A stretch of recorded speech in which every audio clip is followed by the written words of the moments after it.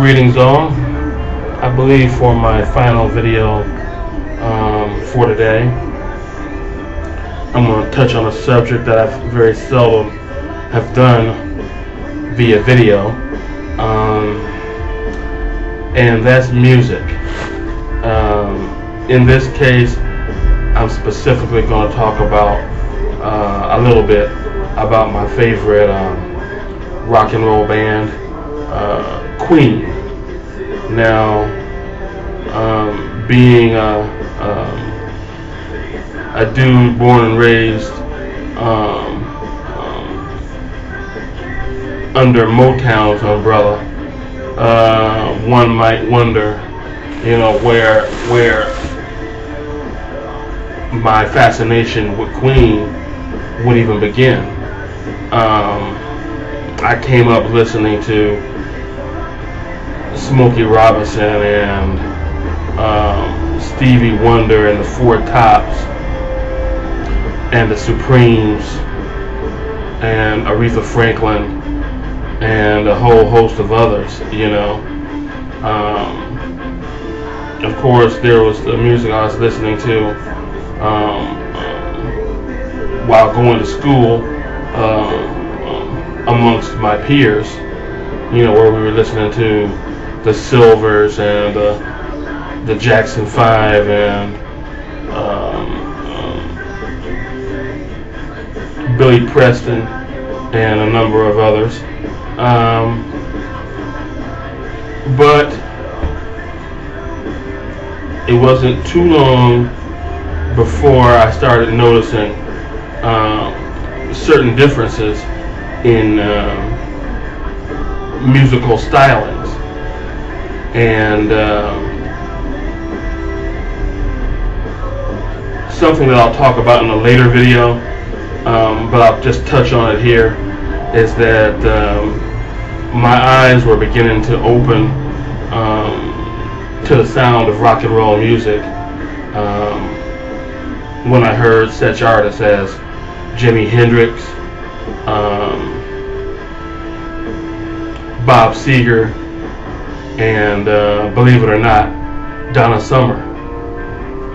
And it wasn't too long after that um, that I saw a movie that almost relished in how bad it was, which um, um, I enjoyed it nonetheless, which was um, Flash Gordon. And um, the, the main folks that did the soundtrack to that movie was Queen. And uh, I think it was just the harmonies that kind of captivated me. Um, then I read something in Rolling Stone, I believe it was, where Michael Jackson was kind of hyping um, Another One Bites the Dust. He was really digging that song, and having heard that song, probably would have known this had I not um, um, seen um, a reporter write on this subject. But it was obvious that the bass line from Another One Bites the Dust was from a, um, a Queen song. I'm not a Queen song, a Chic song, which is an R&B band. And if I'm not mistaken, which I could be, I think the song was Good Times. Um, but I could be wrong on that. Um, but it was definitely it was definitely a Chic song. And what Queen did with that beat and bass line was take it out of this world. And then um, I don't know somewhere along the line I heard um, Bohemian Rhapsody, and um, it just blown away. I think that's probably when I became a fan. If it, if that wasn't the case, then what certainly um, drove me over the edge was uh, Live Aid.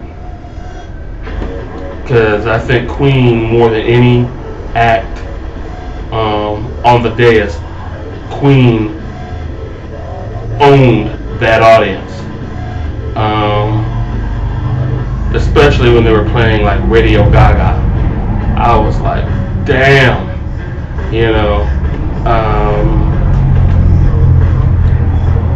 Mercury's voice, the harmonies between the four Brian May, Brian May's screeching guitar, um, the beats, the bass line, everything just fit together with this group, and I don't think any other group has come close. Not the Rolling Stones, not Led Zeppelin, um, not the Who, um, not ACDC, not a number of acts who were um, very prolific in their writings. Um, as a matter of fact, I think the only artist that has covered as much musical territory as Queen and has done it seamlessly is another member of royalty who also happens to be my favorite performer, and that's Prince. Um, but Queen will always be, in my view, um, um, just the greatest rock and roll band um, that's ever been, and in my mind's eye, ever will be. But anyway, for those of you out there who have um, musical leanings, regardless of of um, genre, regardless of um, style, um, anything you care to share by way of comment or video response is um, welcome. And um, until next time, night out.